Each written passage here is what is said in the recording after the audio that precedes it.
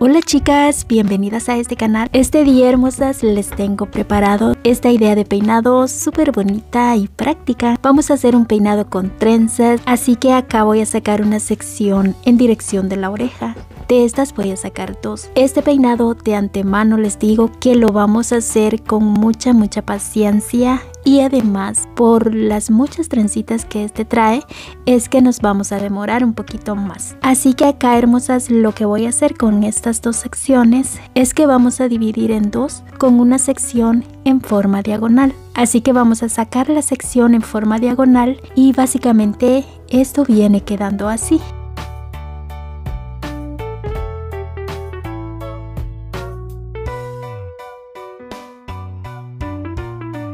Ahora venimos acá. Voy a sacar una sección recta. Esta sección viene a dar como al mismo lado o al punto de inicio de la sección en diagonal que tengo acá. Esto más que todo es como un triángulo aquí en el centro. Así que este triángulo lo vamos a estilizar bien, lo vamos a peinar. Aquí vamos a hacer una trenza súper súper finita Así que para que esas trenzas queden perfectas, queden súper súper bonitas, vamos a remojar bien. Aquí estoy sacando las tres secciones o tres mechones con los que vamos a trenzar. Voy a comenzar sacando una pequeña sección de esta parte, la agregamos y damos acá los respectivos cruces. Vamos nuevamente acá con otra sección pequeñita. Esto tengan en cuenta que es muy importante que las secciones salgan bien bien pequeñitas. A mí me gusta sacarlas así de pequeñitas porque cuando la trenza es súper pequeña y sacamos secciones demasiado grandes como que quedan unos claritos o unos espacios en blancos en medio de la trenza y esto no se mira bien.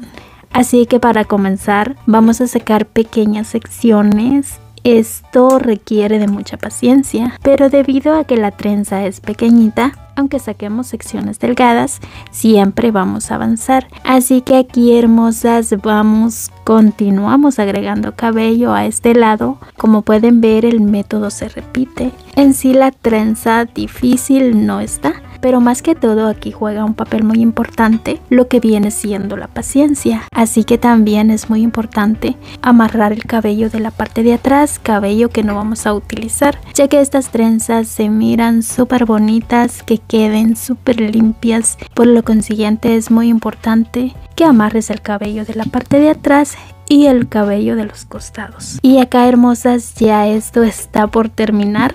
Entonces agregamos de este lado y nos vamos al otro lado.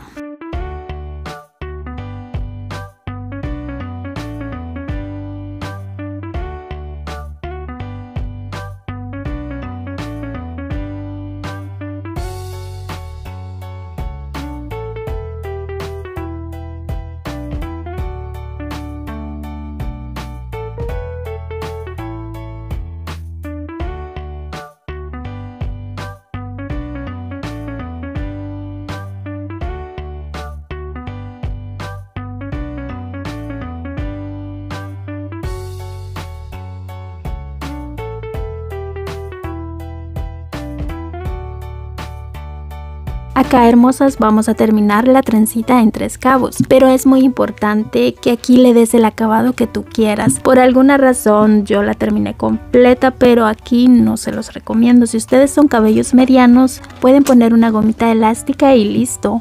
Así que vamos ya con nuestra siguiente sección. Esta la vamos a secar nuevamente recta. Como se dieron cuenta, la sección pasada también la secamos recta. Así que esta lo mismo. Y que el grosor también es muy importante. Vamos a tratar que salga más o menos igual que la anterior. Así que aquí vamos a hacer lo mismo, vamos a estilizar bien, vamos a peinar. Aquí puedes utilizar el producto que a ti te venga mejor. Me gusta siempre peinar el resto del cabello hacia la parte de atrás, ya que al momento de trenzar es más fácil ir tomando los cabellos lado izquierdo y lado derecho. Y antes de comenzar con tu trenza, no te recomiendo comenzar agregando cabellos de inmediato. Así que vamos a dar una dos vueltas entre estos mechoncitos, esto para asegurarlos entre sí.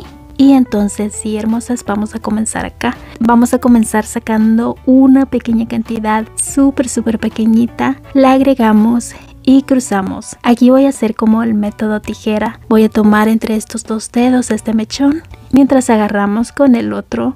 Así que aquí a mechón izquierdo le vamos a agregar una pequeña cantidad de este lado y de esa forma lo vamos a hacer. Vamos a ir tomando mechones lado izquierdo y lado derecho y vamos a hacer lo mismo que la trenza anterior. Vamos a agregar los cabellos súper súper pequeñitos para que no queden esos espacios entre medio y la trenza nos quede más bonita.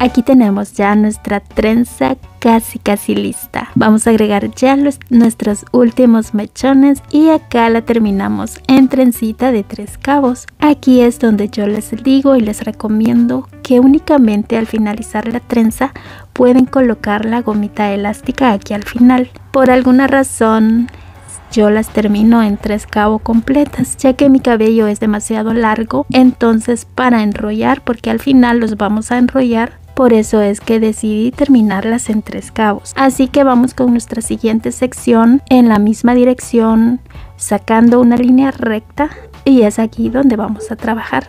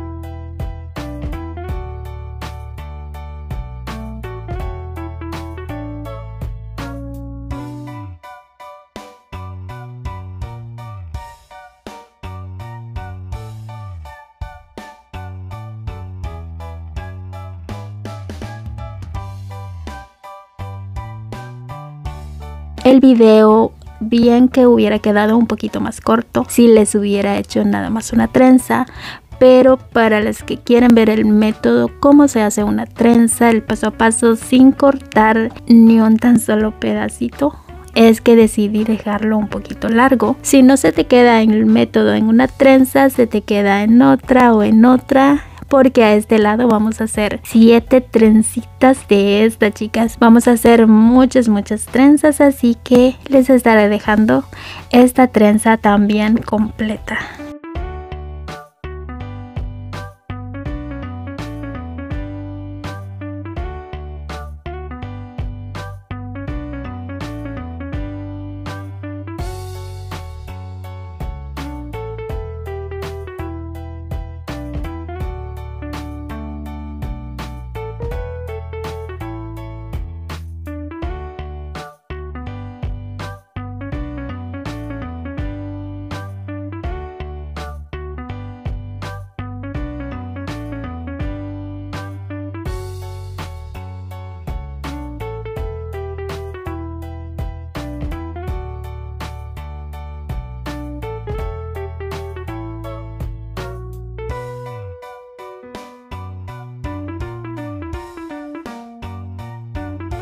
Y listo chicas, así que tenemos ya nuestras siete trencitas de este lado. Vamos a hacer exactamente lo mismo al otro lado.